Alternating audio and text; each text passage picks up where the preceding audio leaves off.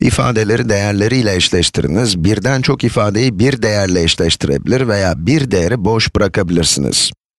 Bu şekli vermişler, bir de üstünde ifadeler yazan bu kartlar var. Bu kartları doğru kovalara atmamız isteniyor. Mesela burada AC doğru parçasının BC doğru parçasına oranını bulmamız isteniyor.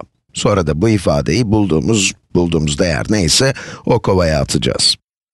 Başlayalım o zaman. Problemi kara tahtama aktarayım. Şekil aynı, sadece biraz büyüttüm. Kovalara atmamız gereken ifadeler bunlar, bunlar da kovalar.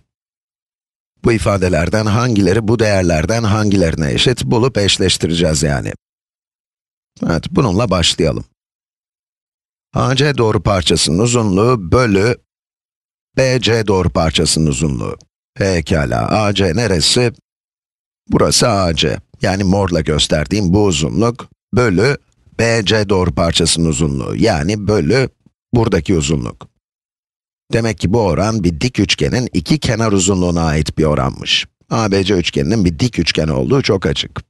Şöyle içini boyayayım ki hangi üçgenden bahsettiğimiz belli olsun. Şu an sarıya boyadığım bu ABC üçgeninden bahsediyoruz. Bir dik üçgenin iki kenarının birbirine oranı, açılardan birinin sinüsüne eşit olabilir. Üstelik açılardan bir tanesini de vermişler. Bakın bu açı verilmiş. Şimdi diyeceksiniz ki nerede verilmiş, nereye verilmiş, sadece göstermişler. Ama bakın bu açı tek yaylı, bu açı da tek yaylı. O zaman bu açı da 30 derece. Mesela iki yaylı bu açının ölçüsü 41 derece. Bu açı da aynı şekilde iki yayla gösterilmiş. O halde bu açılar birbirine eşit. Yani bu açı da 41 derecedir. Bu açıda mesela 3 yayla gösterilmiş ve ölçüsü de verilmemiş. Ama bu açının bu açıyla buradaki açıyla eş açılar olduğunu anlayabiliyoruz. Çünkü bu da 3 yaylı. Evet, neyse bu sarı üçgende yani ABC üçgeninde bu açının 30 derece olduğunu biliyoruz. Bu iki kenarın oranı neyi verir? Bu kenarlarla 30 derecelik bu açı arasında ne gibi bir bağıntı var? Bakın AC kenarı açıya komşu. AC kenarı bu açının hipotenüs olmayan kolu. Yazayım, bu o zaman komşu kenar. Peki BC nedir? BC bu dik üçgenin hipotenüsü yani 90 derecenin karşısındaki kenar. Bunu da yazalım. Hipotenüs dedik. Peki, hangi trigonometrik fonksiyon komşu kenarın hipotenüsü oranına eşittir?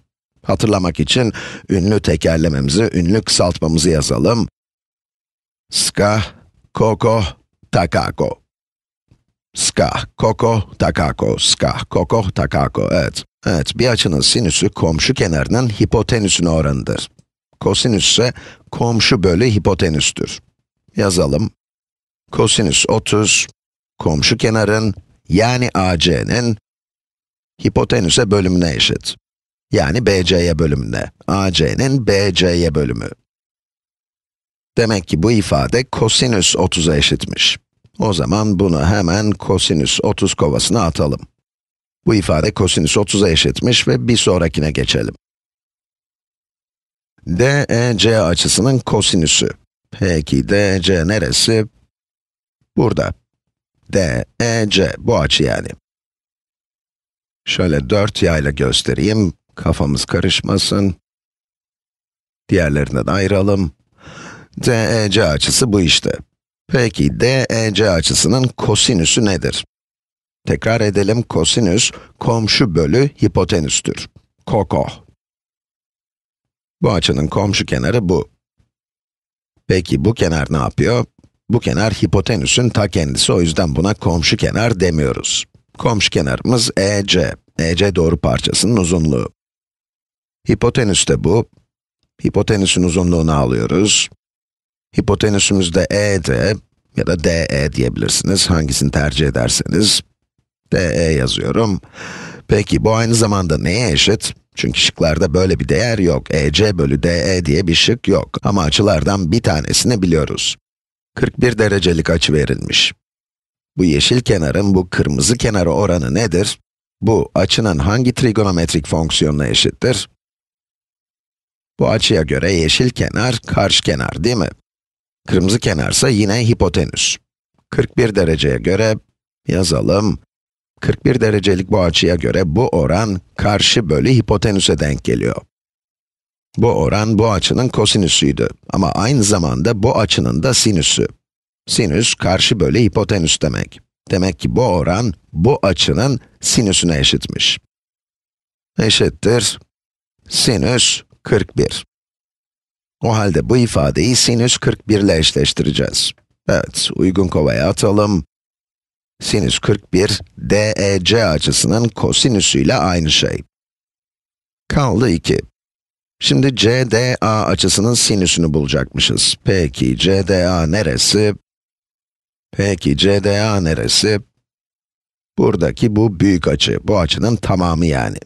Diğer açılardan farklı olduğunu göstermek için bir sürü yay çiziyorum buraya.